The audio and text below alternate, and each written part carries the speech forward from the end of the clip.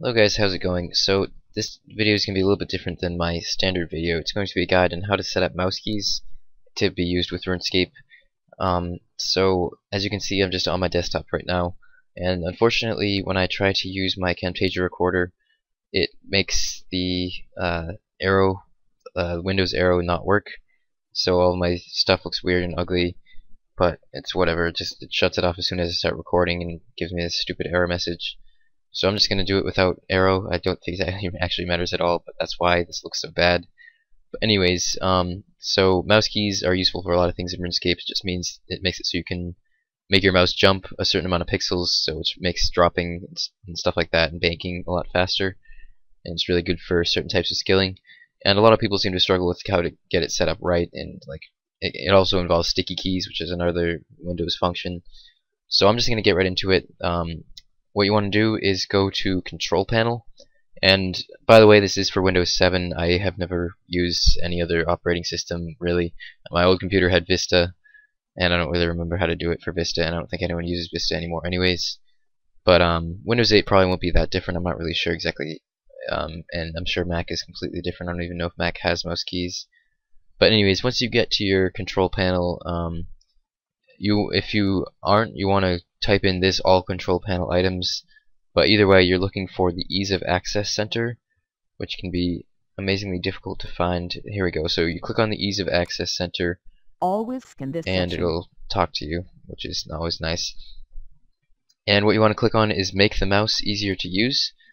And then right here you can see that it says turn on mouse keys this little checkbox. You want to check this and then you want to click on set up mouse keys and it's very important make sure what you do now is copy exactly what I have right here because this is what exactly what you need for the drop down to be good for banking. You'll have to adjust it a little bit to get the right drop down for um, dropping items but basically you want to make sure you have mouse keys on with this little checkbox. You want to have everything checked that I have checked. So um, you don't want to have this checked but um, when using keyboard shortcuts to turn on ease of access settings on display a warning message when turning a setting on, make a sound when turning a setting on or off. I mean, these are sort of up to you, but for ge generally, if you copy exactly what I have, it will work. Um, you want to make this is very important that you have this checked, um, and it's easier if you have numlock off when you have mouse keys on. So that way, when you have numlock on, it means that you can use your number pad still and not use mouse keys.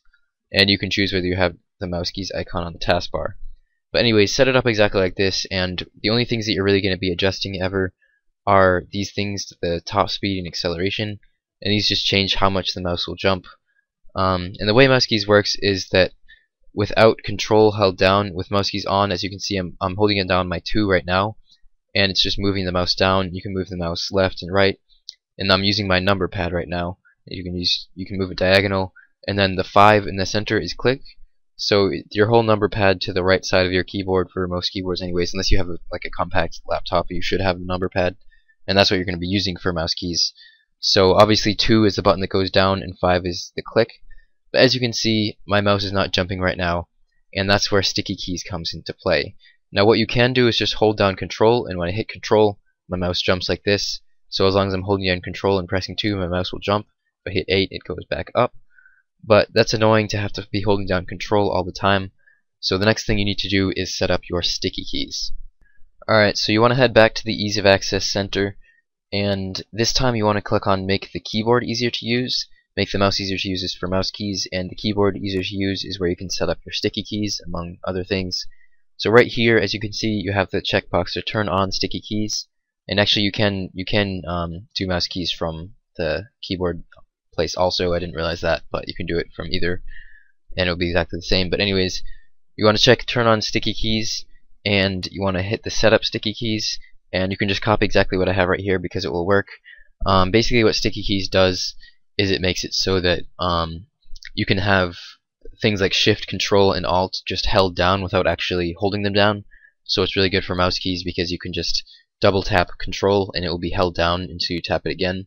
So you don't have to bother with holding down control. And that's an I think I think a thing that a lot of people don't realize about mouse keys is that you can use sticky keys and not have to be holding down control the entire time. So just copy these exact settings. Um, well, you can turn on sticky keys when you uh, hit shift five times fast. So if you if I do that right now, it makes that weird sound, and I just turned it off. and if I do it again then you get this little pop-up and you hit yes and it'll turn it back on and from then on um, you can you can decide whether you want to have it make the sounds and stuff. If you have the sounds on then each time you press control or shift it'll make a beeping sound it's kind of annoying so I have that off. I think I don't know it's checked but it doesn't make a sound so I don't know. Um, but anyways as you can see down here these little these two little things this represents sticky keys this represents mouse keys. And as you can see if I hit numlock then it turns off mouse keys. If I hit it again it turns mouse keys back on. And right here if I press control once then just hold it down for one tap of any button. If I press control twice then it'll be held down permanently. So as you can see I'm not holding control but my mouse will jump like this. And if you press it again it'll turn back off. So that's how to set up mouse keys completely so that it'll actually work for you. When you keep in mind that when you have control double tapped like this it'll affect your entire keyboard. So whenever you try to type anything it will just go crazy. Like if you're trying to type um, anything that'll just use control shortcuts. So like if you have something if you're like on something like a text and you hit A then it'll do control A and select the entire thing. So you want to turn off the control before you actually try to try to type anything or else your computer will just like freak out. Um, but that's how you get mouse keys actually set up. And if I head over head over to RuneScape then I can show you guys exactly what you can do with mouse keys. So with mouse keys all set up then you can do things like this where you right click with your mouse drop down with your keyboard and click with your keyboard. And the buttons are actually using it. I'll show you guys on this just an image of a keyboard right here. These two buttons right here the 2 and the 5 and the 2 on your number pad is the drop down the 5 is the click. And you can't right click with mouse keys at least not as far as I know. I'm pretty sure that's just generally true. So what you do is you right click hit 2 hit 5 and that's going to be your basic action for mouse keys so I right click on the pure ess with my mouse hit 2 to drop down hit 5 to bank go like that, do it fast, and it just sort of becomes muscle memory. And it's the same thing for dropping. I'll show you guys dropping next, actually. It's just a slightly different setting for dropping. Um, you just want to adjust your top speed a little bit. So to get the setting for dropping items, you basically just adjust the top speed down a few notches. I'll show you the, show you guys the exact setup, but what you can do with this is you can have it drop down to drop like that. So as you can see, I just right click, hit the 2, and hit the 5, and it'll drop. And you can do that pretty fast and drop items much faster than normal. And it's all within the Jagex rules. They've said many times that mouse keys is legal. Um, eh, unfortunately, other programs like AutoHotkeys aren't, even if you're using them for the same function. They just decided that they're not legal. I mean, I don't know if they can actually even tell the difference if you're using them for exactly the same thing. But mouse keys is for sure legal, so you won't get persecuted as long as Jagex doesn't change their mind or anything.